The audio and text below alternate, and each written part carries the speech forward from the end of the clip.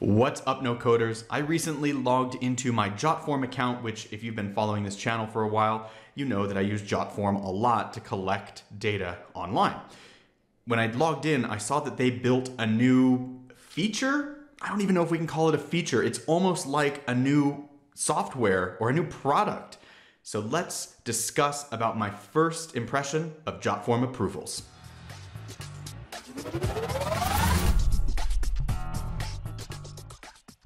Hey, my name is Gareth Pronovost, and I am all about helping you unlock the full potential of no code tools so that you can reclaim your time and stop doing all the admin stuff that you don't need to be doing. So if that's of interest to you and you want to get some personalized training for that, check below this video in the description. I do a weekly live webinar that walks through our exact steps for doing that. It's completely free for you to join us. Our clients can save five to 10 hours every week using these tools. So if you would like to reclaim some of your time, check that link out and join us for our next training. But without further ado, I've got to give you my first impressions about JotForm approvals. As I said, I've barely used this tool. I think maybe like two minutes worth in the software. So let's take a look at what they're doing. First and foremost, I want to direct you to jotform.com slash product slash approvals slash features. Now, if you just go onto Jotform right now, you're going to be directed to this page because they're pushing out their new product and they want you to see what's in there. So I just want to walk through the copy here on the page really quickly. We've got Jotform approvals is going to help us automate the approval process inside of our business. Looks like it starts with a form element, at least in this little image it does, and then we can just click drag certain conditions. So here comes the approver, they have to do this thing.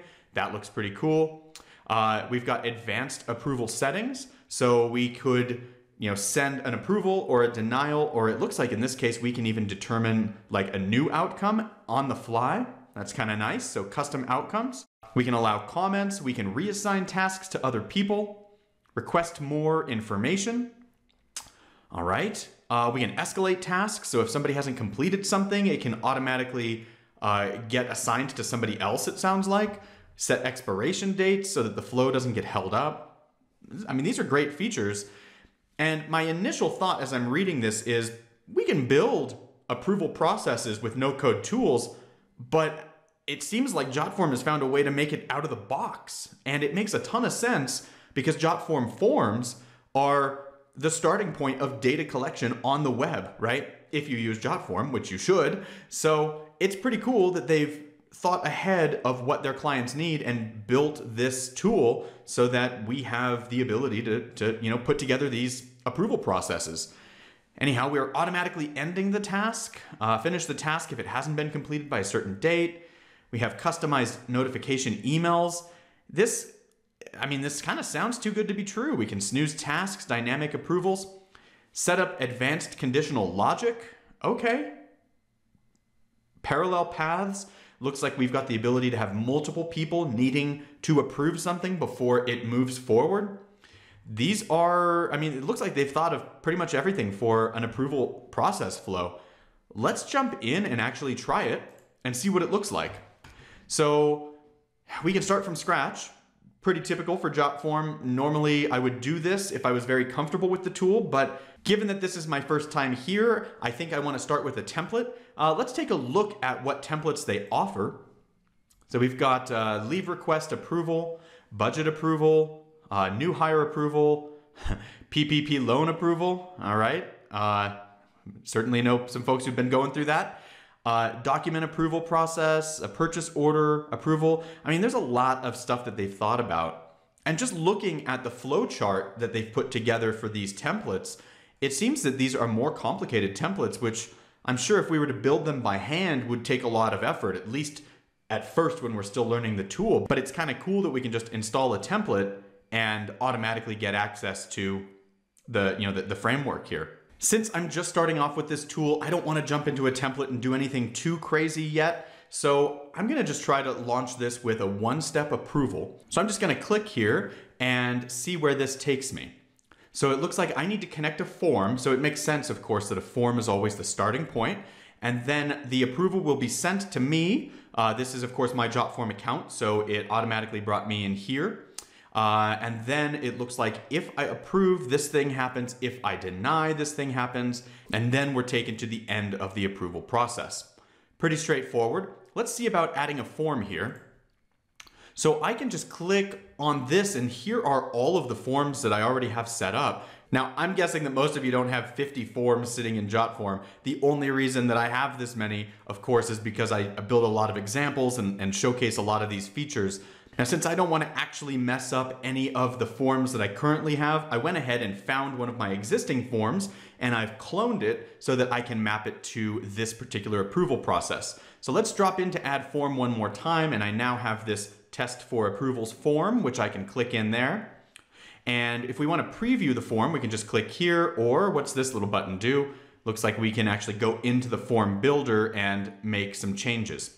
So, okay, this is just full transparency. The form that we use, this is live on my website right now. Of course, this is the cloned copy, but this is the form that is qualifying leads when they approve or when they sign up for a development project with Gap. And so we walk through these different questions and depending on how they're answered, of course, we either approve or deny that form. So this is kind of a real life use case that I've had to string together a bunch of other tools in order to get this to work. So let's see how easily it comes together using JotForm approvals. Back into approvals, I've now assigned my form. Coming back down here, I see I still have two alerts. So let me click on here and see what this error is. It looks like I need to map an email field to this because it stands to reason that we receive the form, then I get to either approve or deny it, and then uh, we're going to need to send a response whether it's approved or denied. So let's take a look at this. How do I add, how do I map that email address? Drop into email here. Email subject, your request has been approved. Who's the recipient? Ah, here we go. So I can probably bring in the form field here, and sure enough, this knew already that I had an email question on my form, and so I can map it right here, bring it on in, save that, and my alert's gone. Great. Uh, let's bring one in here as well, just in case it gets denied. Uh, again, I guess I'll go into the settings here. Let's go back to recipients. Uh, recipient's email, I grabbed it in the form field and we'll save there. And I think that that should do it for us, right? Looks like we're good to go. So maybe we can publish this and take it out for a spin. Let's give it a shot. I'll open the form in new tab here and I'll just go ahead and fill out this form. All right, so I've filled out the form. It took me to the thank you page. And now let's take a look at what happens within the approval process. Again, if we go back to the process, somebody submits the form and then it should come to me and ask me for either approval or or otherwise. So if I drop into my email, I will see that in fact I did receive an email from JotForm that says test person, uh, test for approvals, approval. it's a lot of tests and approvals in a subject line, but I used the name test person, and of course I used my personal email so that I could delineate between you know company business and the person submitting the form. So in my from my appro- so from my approval process, I'm seeing the data that they put into the form, and I can either approve or deny right here in my email. So let's take a look and see what happens. If I click on approve and I want to move this on to the next steps in my automated process, uh, it looks like I have to perform this action. So again, here is the data that they filled out when they submitted the form. I can add comments if I need to, and then I can either approve or deny. So the approval button in my email did not automatically approve it. Instead, it opened up that particular uh, form submission, and I now need to come in and decide if I'm gonna approve or not. So let's suppose, of course, I do approve this then we should be good to go. Uh, what happens to me from the company perspective? I don't receive a new email. So even if I refresh this, it looks like that was not part of the process, which stands to reason. I know that I approved it. I don't need to be notified. However, if I flip into my personal email, in fact, I did receive the form that says your request has been approved. So this is really quite incredible. It took me all of a few minutes to put together this template that somebody can submit and they get a response. Now, of course, I can get more granular about how we address the outcome. Now, for my example, it was very straightforward, just approval or denial. And I didn't really send anything in the response email, but normally I think we would definitely want to customize that. So there's certainly a way that we could drop in and edit what the body of this email says. You know, so we can you know determine how this is received and add additional information here. Furthermore, I can add additional options off of the approval process. Maybe it's not just approve or deny. Maybe there are four different outcomes. Well, in that case, I can just drag this out, select a new outcome, and send out a different response or have a completely different process flow. So it's pretty incredible, in fact, that this is all under one roof inside a JotForm. All of it starts with just a form submission, and I've got a fully baked idea here ready to go. I hope you enjoyed this and let me know if you start using JotForm approvals and how much time it's able to save you. Definitely seems like a really cool tool and I'm excited to jump in myself. In the meantime, if you're looking to save more time with no-code tools, do check out the webinar I mentioned earlier. The link will be below this video in the description and in the comments on YouTube. I look forward to seeing you there, and I'll catch you in the next video. As always, I hope you found that to be extremely helpful. If you did and you'd like to learn more, swing by our website and see how we can help.